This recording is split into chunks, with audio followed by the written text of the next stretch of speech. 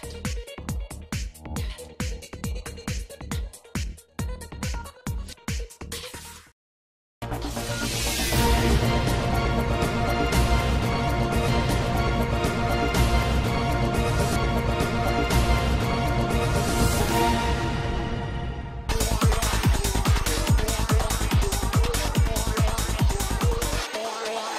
पिछली सरकार के समय घुमारवी में हुए शिलान्यास पट्टिकाओं को तोड़ने का मामला फिर से सामने आया है। ये शिलान्यास पट्टिका नगर परिषद के वार्ड नंबर पाँच, बजुआ में तोड़ी गई है। जो पट्टिका तोड़ी गई है, वो पिछली सरकार के समय में नाले का तटीकरण करने के साथ साथ पार्किंग बनाई जानी थी। इसका शिलान्यास पूर्व मुख्यमंत्री वीरभद्र सिंह व राजेश धर्मानी के द्वारा किया गया था।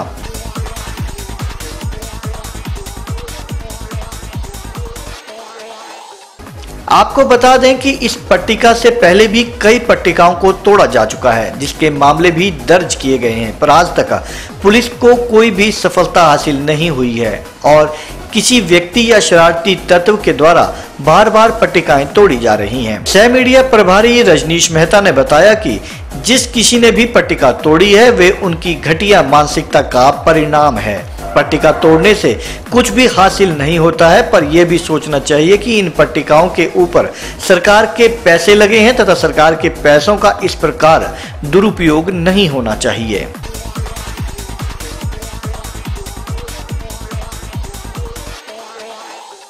कहते हैं कि जल ही जीवन है और इस भीषण गर्मी में जल ना मिले तो जीवन यापन करना अत्यंत मुश्किल हो जाता है, ये बात सभी जानते हैं। ऐसा ही इन दिनों इस तपती धूप में, गिरिपार क्षेत्र के खजियर गाँव में, किसानों को पानी की एक एक बूंद के लिए मोहताज होना पड़ रहा है। यही नहीं, गाँव की महिलाएँ, पुरुष, बुज़ुर्ग व स्कूली बच्चे खड़ी पहाड़ी से पानी ढोकर घर पर पहुँचा रहे हैं। पुरानी पाइपलाइन ठप पड़ी हुई है। वहीं नई योजना अधर में लटकी पड़ी है। विभाग से कई बार गुहार लगाने के बावजूद भी समस्या बैसी की बैसी बनी हुई है, जिसका खामियाजा यहाँ के बंशीदों को झेलना पड़ रहा है।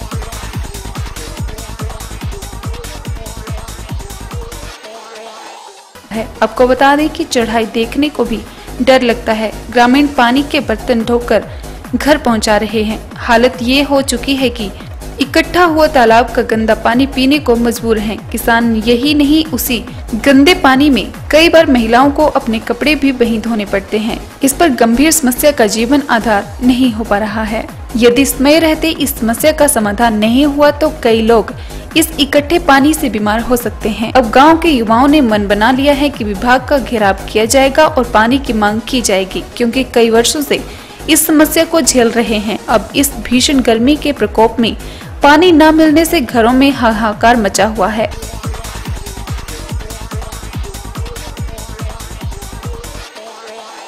गाँव की महिलाएँ भी पानी ढोकर अब थक चुकी हैं। अब सभी गाँव वासियों का सब्र का बाँध टूट चुका है और विभाग के ऊपर कार्य में कोताही बरतने के लिए घेराव किया जाएगा। युवा, देश का गौरव है। अगर युवाओं को अच्छी शिक्षा न मिले तो देश बर्बाद हो सकता है। पर इस गाँव में तो यही हाल युवाओं का नज़र आ रहा है। स्कूल जाने से पहले पानी ढोकर घर पहुंचाना पड़ता है। कई बार स्कूल में लेट होने के बाद स्कूल में अध्यापक की भी मार खानी पड़ रही है।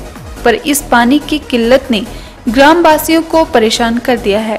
यही नहीं, बड़ी विडम्बना का विषय तो ये भी है कि इस गाँव के समीप एक खाले से पाँच गाँव के लोगों को उठाओ पेयजल योजना की स्कीम से जोड़ा गया है, जबकि यहाँ नज़दीक इन ग्राम वासियों को पानी की बूंद बूंद के लिए मोहताज होना पड़ रहा है। अब ग्रामवासियों ने विभाग को करारा जवाब देने का मन बना लिया है। जल्द ही इस पर गाँव के सभी युवा बुज़ुर्ग और महिलाएँ कार्रवाई करेंगे।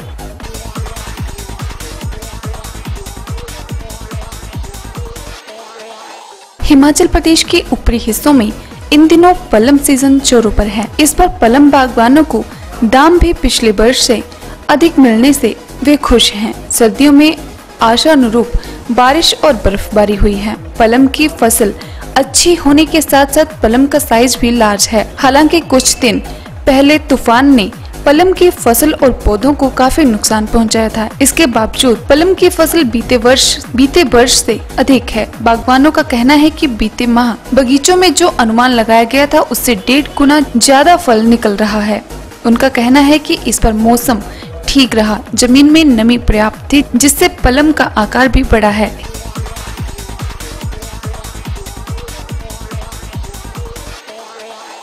हिमाचल प्रदेश में पलम की बागवानी सतासी सौ हेक्टेयर में होती है। बीते वर्ष हिमाचल में 14,300 मीट्रिक टन पलम की पैदावार हुई थी। इस बार पैदावार बीस हज़ार मीट्रिक टन रहने की उम्मीद विशेषज्ञ जता रहे हैं। पूरे देश में पलम की बागवानी छब्बीस हज़ार हेक्टेयर क्षेत्र में होती है और पैदावार करीब बहत्तर हज़ार मीट्रिक टन। इन दिनों शिमला जिला के सतलुज घाटी क्षेत्र और इसके साथ लगते मध्यम ऊंचाई वाले इलाकों में पलम तुड़वान का कार्य जोरों पर है। बागवानों के साथ साथ बाहर से पलम सीज़न में मजदूरी करने आए लोग भी खुश हैं।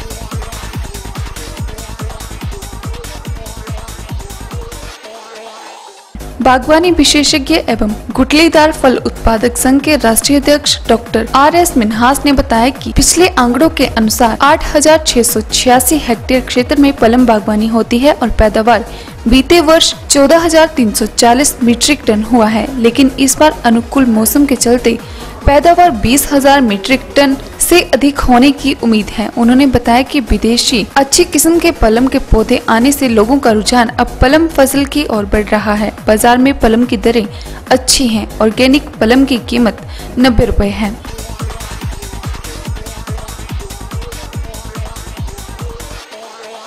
सहारनपुर से पलम सीज़न लगाने आए अजब सिंह ने बताया कि वे सीज़न के दौरान यहाँ आते हैं और दिन रात मेहनत करके अच्छा पैसा कमाते हैं। इससे अपनी पढ़ाई की फ़ीस आदि का बंदोबस्त होता है। मोहम्मद एहसान ने बताया कि वे पलम का कारोबार करते हैं। वे पलम खरीद कर दिल्ली मंडी भेजते हैं। अपने साथ मजदूर भी सहारनपुर से ही लाते हैं। उन्होंने बताया कि पिछले हफ़्ते मंडी अच्छी थी। करीब पाँच किलो की पैकिंग पेटी लार्ज दाने वाले के चार सौ मिल रहे थे। अब कुछ रेट कम हुआ है। बागवान मोहन सिंह ने बताया कि फ़सल इस बार अच्छी है पलम का साइज़ भी ठीक है, जो अनुमान उन्होंने बगीचे से निकलने वाले फल का एक माह पहले लगाया था, उसका डेढ़ गुना ज़्यादा फल निकल रहा है। इससे पलम के ठेकेदारों को लाभ हुआ है। उन्होंने बताया कि मार्केट में लार्ज जाने वाले पेटी 400 व दूसरी पेटी दो सौ में बिक रही है।